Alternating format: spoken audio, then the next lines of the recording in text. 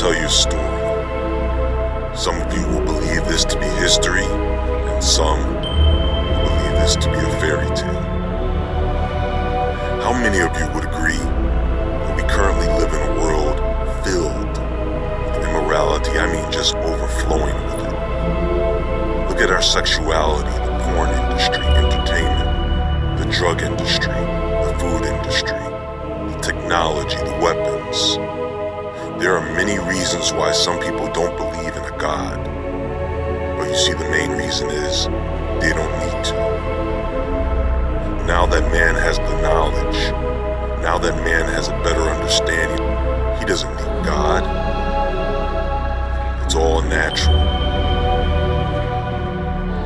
Now, there are many ancient writings and artifacts that have made it into our library of knowledge about the world we live in, and the Bible is one of them. Not, it is part of our world history and it is very significant.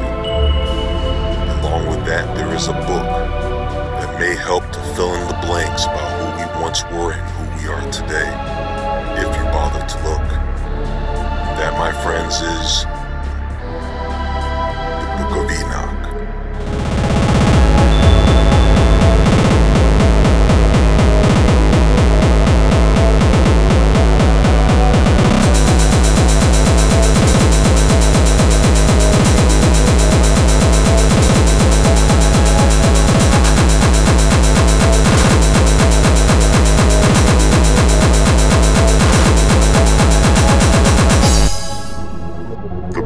Enoch.